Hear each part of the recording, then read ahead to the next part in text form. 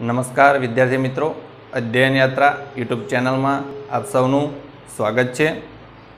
આજે ધોરણ સાત વિષય અંગ્રેજી અને પહેલો યુનિટ વિની સ્માઇલ એમાં એક્ટિવિટી વન એના વિશે આજે આપણે અભ્યાસ કરીશું. વિની સ્માઇલ ધોરણ સાત વિષય અંગ્રેજી, એક્ટિવિટી વન. આપ બધા પોતાની પાસે પાઠ્યપુસ્તક, પેન અને નોટબુક સાથે લઈને બેસજો. જરૂર જણાય ત્યાં લેખન કાર્ય કરવાનું થશે, તો તે લેખન કાર્ય પણ આપણે કરીશું. એટલે તમારી પાસે પાઠ્યપુસ્તક અને પેન તમારી પાસે હોવી જરૂરી છે. પહેલી એક્ટિવિટી છે, એમાં એક આપણને પોયમ આપેલી છે. એ પોયમનો આપણે ભાવવાહી પઠન કરીશું અને ત્યારબાદ થોડી સમજૂતી મેળવી અને આગળની જે એની પ્રવૃત્તિ છે એક્ટિવિટી છે, એ કરીશું. તો પહેલી જ એક્ટિવિટી એક છે. આ પોયમ એ એક્ટિવિટી એક છે. એક્ટિવિટી એક પોયમ ધ લિટલ વન પોયમનું નામ છે ધ લિટલ વન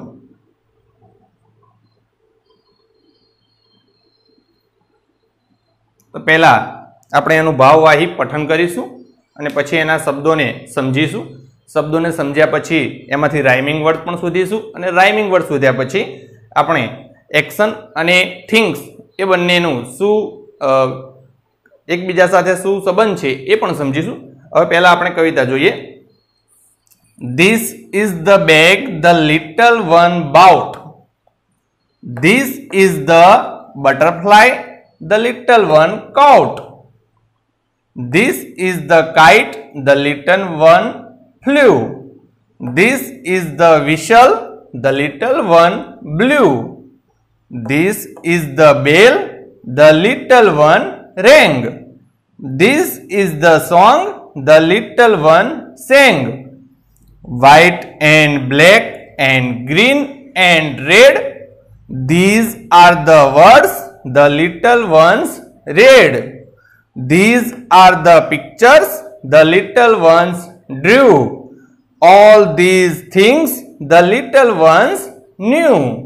તો એક સરસ મજાની કવિતા પોયમ હવે આમાં આપણે નવા આવતા શબ્દોનું શુદ્ધ ઉચ્ચારણ પહેલાં તો કરીએ તો આપણને કવિતા વાંચતા અને ગાતા આવડી જશે તો નવા શબ્દો આપણે જે છે એ જોઈએ તો શબ્દ છે bag little one bought butterfly coat, kite, flew, whistle, blew, bell, rang, song, sang, white, black, green, red, words, red, pictures, drew, things અને ન્યૂ તો આ શબ્દો એ નવા શબ્દો છે જે આપણે ધોરણ સાતમાં શીખવાના છે. તો એનું ઉચ્ચારણ તમને આવડશે તો કવિતા તમને વાંચતા અને ગાતા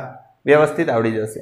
હવે કવિતાને સમજીએ તો અહીંયા એમ કહેવા માગે છે કે this is the bag the little one bought અહીંયા આ બોટ જે છે એ ક્રિયાપદ છે. બોટ એ ભૂતકાળનું ક્રિયાપદ છે. Buy B U Y buy to buy એટલે કે ખરીદવું. બાઉટ એટલે ખરીદ્યું. ભૂતકાળ થઈ ગયું.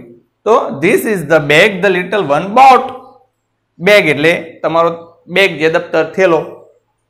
આ એ બેગ છે જે નાના બાળકે ખરીદી. This is the butterfly the little one caught caught એટલે કેચનું ભૂતકાળનું રૂપ છે. કેચ એટલે આપણે ક્રિકેટમાં બોલ હોય ને ફેંકીએ અને એક કેચ કરવામાં આવે. તો કેચ એટલે પકડવું અથવા ઝીલવું, એવું પણ થાય. તો બટરફ્લાય બટરફ્લાય એટલે પતંગિયું. તો this is the butterfly the little one caught એટલે કે આ એ બટરફ્લાય છે કે જે નાના બાળકીએ પકડ્યું છે અથવા તો પકડ્યું હતું ભૂતકાળ છે માટે. This is the kite the little one flew flew એટલે ચગાવવું. ફ્લાય ફ્લાયનું ભૂતકાળનું રૂપ છે ફ્લ્યુ કાઇટ એટલે પતંગ. તો આ એ પતંગ છે જે નાના બાળકે ચગાવી. This is the whistle whistle એટલે આપણે જે સિસોટી વગાડીએ છીએ તે.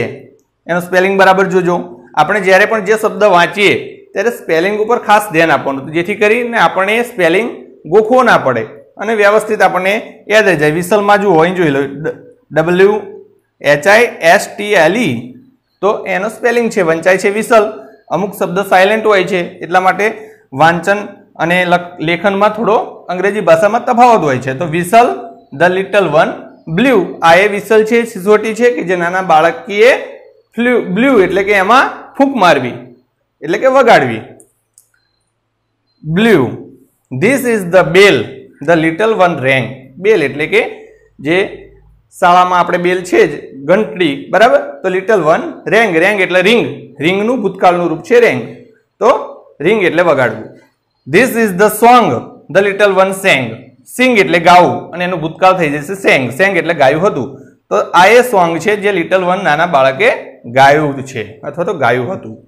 White and black and green and red white black green અને રેડ જુઓ, ચારે ચાર એક કલરના નામ છે અને એના સ્પેલિંગ છે. વ્હાઇટ એટલે સફેદ બ્લેક એટલે કાળો ગ્રીન એટલે લીલો રેડ એટલે લાલ. These are the words the little ones read આ એ શબ્દો છે કે જે નાના બાળકે વાંચેલા છે. તો રેડ જો અહીંયા રેડ છે કલર છે. અહીંયા આપણે આને રીડ નું ભૂતકાળનું રૂપ છે રેડ. લખાય છે રીડ. સ્પેલિંગ ભૂતકાળનો અને મૂળ રૂપનો સ્પેલિંગ સરખો જ છે. R, E, A, D, read. To read એટલે કે વાંચવું. પણ જ્યારે ભૂતકાળમાં વપરાયું હોય ત્યારે આપણે એનું ઉચ્ચારણ રેડ કરવાનું છે. તો these are the words the little ones read. These are the pictures the little one drew. Draw. ડ્રોનું ભૂતકાળનું રૂપ. ડ્રો એટલે દોરવું. તો these are the pictures pictures એટલે ચિત્ર. These are the pictures the little ones drew આ એ ચિત્રો છે જે નાના બાળકે દોર્યા. All these things the little ones knew જો અહીંયા પણ શબ્દમાં લખાય છે અલગ, બોલાય છે અલગ ન્યૂ એમાં કેનો ઉચ્ચારણ કરવાનું નથી, કારણ કે કે સાયલન્ટ છે. નો નું ભૂતકાળનું રૂપ છે. નો કે એન ઓ ડબલ્યુ નો નું થાય જાણવું. અને એનું ભૂતકાળ ન્યૂ એટલે જાણ્યું હતું. તો ઓલ ધીઝ થિંગ્સ આ બધી જ વસ્તુઓ જે છે એ નાના બાળકો જાણી હતી અથવા તો એ જાણતા હતા. All these thing the little ones knew કઈ કઈ બધી વસ્તુઓ? તો આ bag the little one bought butterfly the little one caught kite the little one flew whistle the little one blew bell the little one rang song the little one sang પછી આ બધા શબ્દો white black green red these are the words the little ones read these are the pictures the little ones drew. All these thing the little ones knew તો સરસ મજાની આ કવિતા છે, જે એમાં ખાસ કરીને આપણે જોઈશું તો રાઇમિંગ વર્ડ પર વધારે ધ્યાન આપીશું. રાઇમિંગ વર્ડ એટલે કેવા શબ્દો? તો જે શબ્દોનો ઉચ્ચારણ સરખું થાય, બોલવામાં એક સરખા લાગે, એને આપણે અંગ્રેજીમાં રાઇમિંગ વર્ડ કહીએ છીએ. ગુજરાતીમાં એને પ્રાસયુક્ત શબ્દો કહેવાય. આવ્યા ગયા, લાવ્યા. તો આ જો એક સરખા બોલાય છે ને ગુજરાતીમાં, તો એ બધા પ્રાસયુક્ત શબ્દો છે. તો એવી રીતે અંગ્રેજીમાં પણ જે એક સરખા ઉચ્ચારવાળા શબ્દો હોય, એને રાઇમિંગ વર્ડ્સ કહીશું. હવે આપણે રાઇમિંગ વર્ડ શોધવા કઈ રીતે? આપણને કહ્યું છે કે બાઉટનો રાઇમિંગ વર્ડ શોધો. તો જુઓ, અંગ્રેજીમાં અથવા ગુજરાતીમાં વધારે એંસીથી નેવું ટકા આપણને કવિતામાં રાઇમિંગ વર્ડ ક્યાં મળે? તો એક જે બે લીટી હોય, એ બે લીટીની છેલ્લે જે શબ્દો બે આવતા હોય એ રાઇમિંગ વર્ડ્સ હોય. મોસ્ટ ઓફ કવિતાઓમાં. જુઓ તમે બાઉટ તો કાઉટ જો એક સરખા બોલવામાં લાગે છે ને? બાઉટ કાઉટ તો આ બંને રાઇમિંગ વર્ડ છે. કેમ? કારણ કે બંને બોલવામાં સરખા છે. તો ફ્લ્યુ તો શું થશે? તો બ્લ્યુ ફ્લ્યુનો રાઇમિંગ વર્ડ બ્લ્યુ રેંગ રેંગનો રાઇમિંગ વર્ડ સેંગ જો એક સરખા લાગે છે બોલવામાં. રેડ રેડનો રાઇમિંગ વર્ડ રેડ બંને રેડ જ બોલાય છે. ભલે સ્પેલિંગ અલગ છે પણ. મેં તમને સમજાવ્યું એમ.